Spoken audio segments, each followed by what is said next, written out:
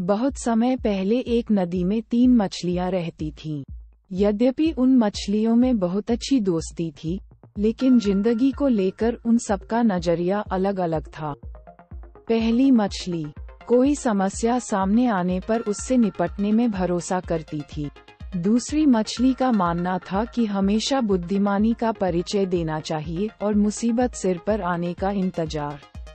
करने की बजाय समय रहते उससे निपटने का उपाय कर लेना चाहिए। तीसरी, मछली का मानना था कि प्रयास करने से कुछ नहीं होता। होता वही है, जो भाग्य में लिखा होता है। एक दिन तीनों मछलियाँ नदी में तैर रही थीं। तभी उन्होंने नदी के तट पर बैठे दो मछुआरों को आपस में बात करते हुए देखा। उनकी बातें सुनने के लिए वे तीनों तैरती हुई। तट के समीप पहुँच गई। एक मछुआरे ने कहा इस नदी में मछलियों की कमी नहीं है अगर हम इन मछलियों को पकड़कर बाज़ार में बेचें, तो अच्छा मुनाफा कमा सकते हैं छोटे तालाब में अब ज़्यादा मछलियाँ नहीं रह गई हैं। मुझे तो बड़ी हैरत है कि इस नदी की मछलियों पर अब तक हमारा ध्यान क्यों नहीं गया चलो देर आए दुरुस्त आए। यह आवाज़ दूसरे मछुआरे की थी। हम कल से ही यहाँ पर मछलियाँ पकड़ना शुरू कर देंगे। लगता है अब हमारे पास धन की कोई कमी नहीं रहेगी। हमारी किस्मत अच्छी थी जो हम इस स्थान पर आ पहुँचे।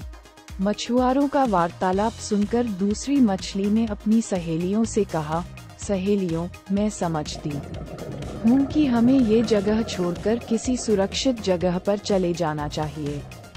यहाँ पर हमारा जीवन खतरे में है। इस पर पहली मछली ने कहा, अभी तो ये लोग सिर्फ़ बातें कर रहे हैं।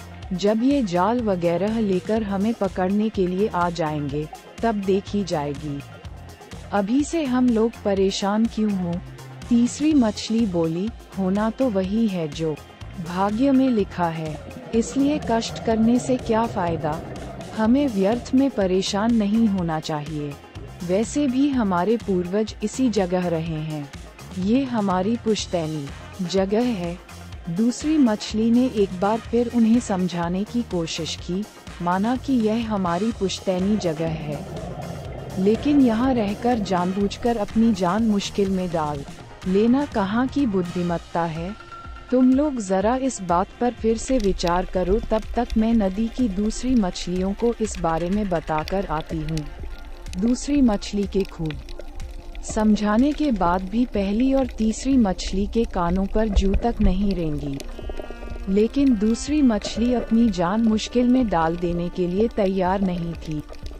उसने उन दोनों मछलियों को नमस्कार किया और नदी की कुछ अन्य मछलियों के साथ खुद नदी की किसी और जगह पर चली गई। अगली सुबह मछुआरे उस जगह पर आकर मछलियाँ पकड़ने लगे। बचने की लाख कोशिश करने के बाद भी पहली और तीसरी मछलियाँ उनके जाल में फंस गई। लेकिन पकड़े जाने के बाद भी पहली महली ने हिम्मत नहीं हारी थी। उसके दिमाग में मछुआरों से बचने का एक नायाब विचार आया। जब मछुआरे मछलियों को जाल से बाहर निकाल रहे थे, तब वह इस तरह लेट गई, जैसे मर गई हो। उसे मरा हुआ समझकर मछुआरों ने उसे फिर से नदी में फेंक दिया, क्योंकि मरी मछली का उनके लिए कोई उपयोग नहीं था। पहली मछली तुरंत वहाँ से भाग निकली। उधर तीसरी मछली जाल में पकड़ी। जाते ही हिम्मत हार बैठी थी। उसने जाल से निकलकर भागने की भी कोई कोशिश नहीं को जाल में पकड़े जाते ही उसने जीवन की आस छोड़ दी थी।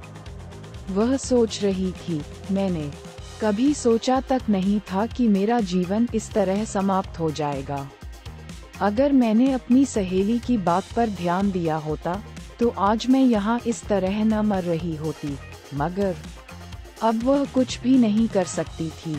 इस प्रकार पहली और दूसरी मछली ने अपनी होशियारी से जान बचा ली, जबकि तीसरी मछली अपनी बेवकूफ़ी की वजह से ही मृत्यु को प्राप्त हुई। शिक्षा, हमें दूरदर्शी और बुद्धिमान बनना चाहिए।